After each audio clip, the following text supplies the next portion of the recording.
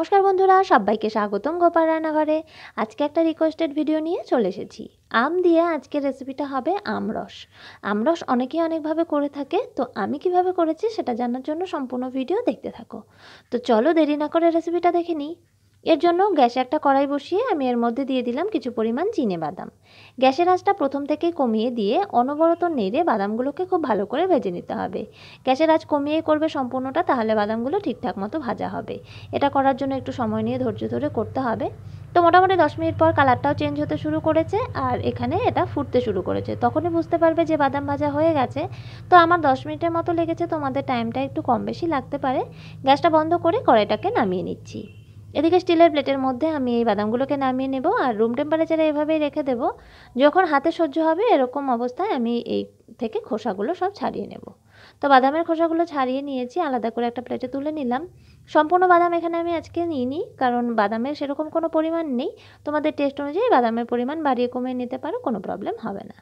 তো এখানে এরকম ছোট হামিল দিস্তা মোটামুটি সবার বাড়িতেই থাকে। তো সেরকম একটা হামিল দিস্তার মধ্যেই এই বাদামগুলোকে আমি নিয়ে নিচ্ছি। তোমরা চাইলে এটা মিক্সিতেও করতে পারো, আমি আধ ভাঙা করে নেব এটাকে। যেহেতু আজকে কম করছি, তো সেই জন্য এটাতেই করেছি। দেখো, হয়ে গেছে আধ ভাঙা, আর করার দরকার নেই, এবার আমি একটা প্লেটের মধ্যে এটাকে নিয়ে নিলাম। এদিকে আমি দুটো এরকম সাইজের আম নিয়ে নিয়েছি, এগুলোর খোসা ছাড়িয়ে টুকরো করে একবারে মিক্সির জারের মধ্যে নিয়ে চলে এসেছি। এবার মিক্সির জারটা বন্ধ করে দিলাম, এটাকে একটা পেস্ট করে নিতে হবে। পেস্ট করে নেওয়া হয়ে গেছে, দেখো। আমগুলো যেন কোনো টুকরো না থাকে, খুব ভালো করে পেস্ট করে নেবে আর তারপর একটা বাটি নিয়ে তার মধ্যে এই আমের পাল্পগুলোকে প্রথমে নিয়ে নিতে হবে। এবার এখানে দিতে হবে এক টেবিল চামচ গুঁড়ো চিনি। চিনির পরিমাণ তোমরা বাড়িয়ে কমিয়ে নিতে পারো তোমাদের টেস্ট অনুযায়ী বা আম কতটা মিষ্টি সেটা বুঝে তারপর চিনির গুঁড়োটা দেবে। এবার এখানে নিয়েছি দুই টেবিল চামচের মতো দুধের সর। দুধ জাল করে নেওয়ার পর যে সরটা পড়ে সেই সরটা আমি তুলে রেখেছিলাম। এবার এটাকে খুব ভালো করে ফেটিয়ে নিতে হবে। তোমরা দোকান থেকে যে ক্রিম কিনতে পাওয়া যায়, সেটা দিয়েও কিন্তু করতে পারো। মানে দুধের স্বরের পরিবর্তে। রান্নাগুলো ভালো লাগলে একটা লাইক করো কমেন্ট করে জানিও রেসিপিগুলো কেমন লাগে। পারলে বন্ধু বান্ধব আত্মীয় স্বজন সবার সাথে শেয়ার করো, যাতে আমার রেসিপিগুলো সবাই দেখতে পারে। তো এবার এখানে এটা দিয়ে দিতে হবে। এবার এখানে দেব আমি যে বাদামগুলো ভেঙে রেখেছিলাম, সেই বাদামগুলো। এবার এই সবগুলোকে আমি ভালো করে প্রথমে মিক্স করে নেব। এখানে তোমরা এলাচ গুঁড়ো ব্যবহার করতে পারো, তবে আমের একটা ফ্লেভারের জন্য আমি কিন্তু এলাচ গুঁড়োটা এখানে আজকে ব্যবহার করিনি। এটাকে ভালো করে মিক্স করে নেবে।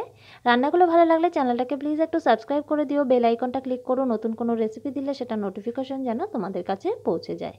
তো এটাকে কিন্তু তোমরা এভাবেই পরিবেশন করতে পারো। তবে আজকে আমি এটাকে একটু পাতলা করব, তো সেই জন্য দুধ নিয়েছি হাফ কাপের মতো। নর্মাল দুধ যেভাবে জাল করে রাখি, সেই দুধটাই আমি নিয়েছি। একটু রুম টেম্পারেচারে ঠান্ডা করে তারপর এখানে অ্যাড করেছি। নাহলে আমে যদি টক ভাব থাকে, দুধটা কিন্তু নষ্ট হয়ে যেতে পারে। তো সেজন্য রুম টেম্পারেচারে ঠান্ডা করে তারপর এটাকে অ্যাড করবে। তো আম রসটা কিন্তু পুরীর সাথে দারুণ লাগে খেতে। আজকে এভাবেই পরিবেশন করব, তো সেই জন্য এতটা ঘন রেখেছি। তোমরা চাইলে দুধের পরিমাণ বাড়িয়ে কিন্তু আরও পাতলা করে নিতে পারো। যদি শুধু খেতে চাও, তাহলে পাতলা করে খেতে পারো। তো এটা রেডি হয়ে গেছে, বাটিতে নিয়ে নিলাম। যদি ইচ্ছে করে, তাহলে ঠান্ডা ঠান্ডা পরিবেশন করতে পারো, নাহলে এমনিতেও করা যাবে। রেসিপি একদম রেডি যদি ট্রাই করো, অবশ্যই কমেন্ট বক্সে জানাবে। আর কেমন লাগল, সেটাও আমাকে একটু জানাবে। আবার দেখা হবে নতুন রান্নার সাথে। টাটা!